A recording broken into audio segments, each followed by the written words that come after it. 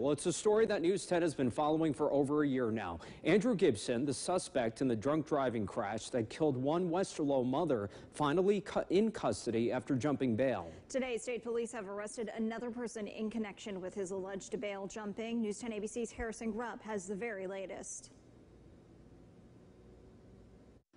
Days after Andrew Gibson was captured in Rensselaer County, another arrest was made yesterday. She had knowledge that, she, that uh, Mr. Gibson was a fugitive and uh, wanted in connection with aggravated vehicular homicide. State police arresting the woman Gibson had apparently been staying with for months after he was a no-show to his February sentencing.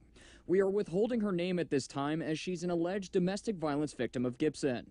She faces a second degree charge of hindering prosecution, a felony. The information I was supplied uh, was that she knew about this and assisted him with um, staying away from police. Police responded to her home in the town of Nassau this weekend for that alleged domestic incident, a situation that ultimately led to Gibson's arrest. Albany County grand jury handed up a two-count indictment.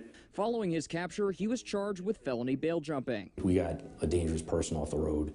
Um, he's known to drive drunk. Uh, he had major issues with alcohol and um, also was uh, violent with women as well. Gibson was back in court yesterday, pleading not guilty to those charges. The appearance came over six months after the 43 year old was to be sentenced for a fatal 2021 DWI crash in Westerlo.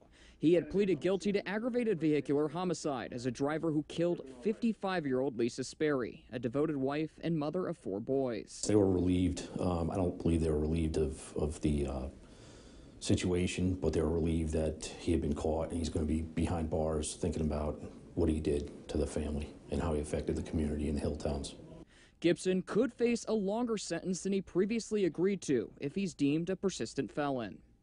The woman who was arrested yesterday will be arraigned right here at Nassau Town Court on August 24th. State police say this is an ongoing investigation and more arrests are possible in the future. Reporting in Nassau, Harrison 10, ABC.